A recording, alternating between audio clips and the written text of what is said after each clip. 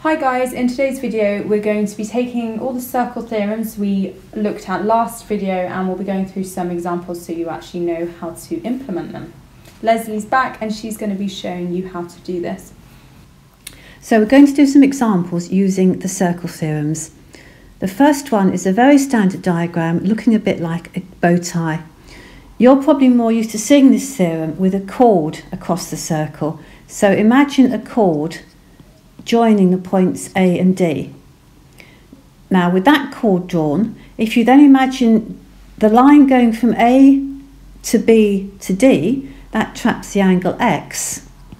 And going back to the point A, the line from A to C to D traps the 63 degrees and using the theorem angles in the same segment, those two values are equal. Exactly the same for the other angle. Imagine it turned upside down and this time imagine a chord from B to C. If you start at B, go to A and then down to C, traps 18 degrees. Start from B to D and down to C, traps Y degrees.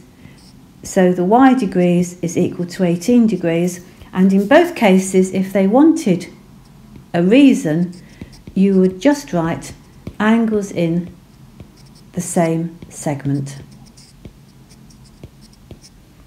Second example, again, another very common situation. Imagine this time that you have a chord across the circle from A to B, and that, that's the standard diagram for the angle at the centre being twice the angle at the circumference. So start at A, go to O, which is the centre, and back to B and you've trapped the angle M and then start at A, go to the circumference at C and down to B, you've trapped the angle 31 degrees. So M is equal to 2 times 31 degrees or 62 degrees. And if a reason is required, the reason is that the angle at the centre is twice the angle at the circumference.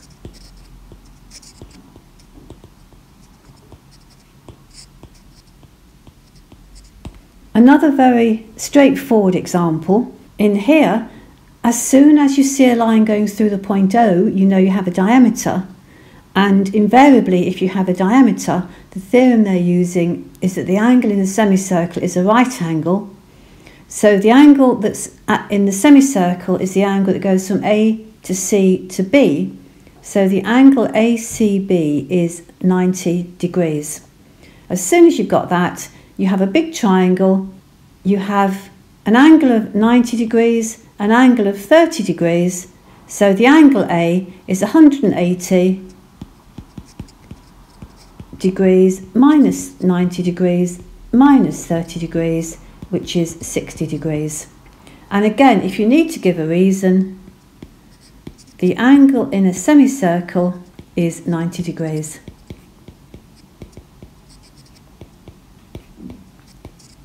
Just a little bit this harder this time, we have two angles to find.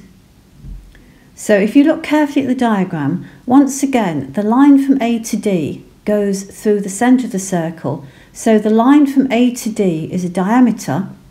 So the first theorem we're going to be using is that the angle in the semicircle is 90 degrees and the angle in the semicircle is the one that goes from A to C to D that angle is 90 degrees. So in the triangle that goes from A to C to D, those three angles add up to 180 degrees. So the angle A is equal to 180 degrees minus 90 degrees minus 33 degrees, which is 57 degrees. The angle B, now if you have a careful look at the shape, which goes from A to B to C to D and back to A again, then we have a cyclic quadrilateral, a four-sided shape drawn inside the circle. And the theorem about cyclic quadrilaterals states that opposite angles add up to 180 degrees. So the angles which are opposite to each other are the one from A to B to C, which is the B degrees, and The one opposite to that is the angle from A to D to C, which is 33 degrees. So the B is again equal to 180 minus 33 degrees, which is 147 degrees. So just getting slightly harder again, we are asked to find, first of all, the angle BDA. Slightly different labelling of the angle this time. So the angle from B to D to A, you start from B, you go to D, and then you go to A. So the angle BDA is the one I've marked on the diagram. And if you look at that angle, one side of the triangle that contains it is the diameter it goes through the circle. So we're using the circle theorem. The angle in, the in a semicircle is 90 degrees. So angle BDA is equal to 90 degrees. For the second angle, let's try and find the angle BAD.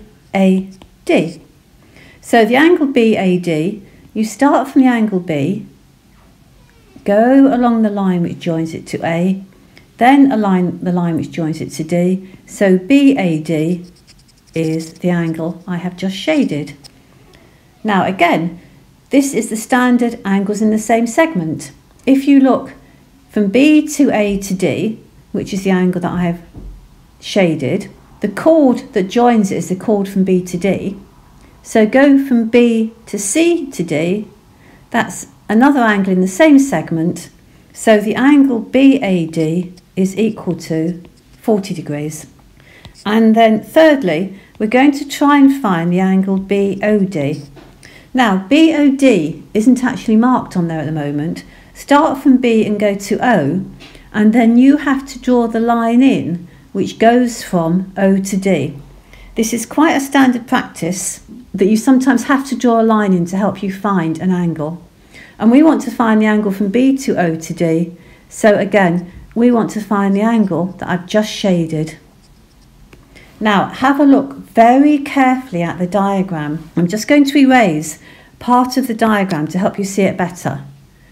So, if you look at the bit that's left, there you have the setup for the angle at the centre is twice the angle at the circumference. So the chord is BD, the angle at the centre is BOD, the angle at the circumference is BCD, so the angle at the centre is twice the angle at circumference, means that BOD is 2 times 40 degrees, which is 80 degrees.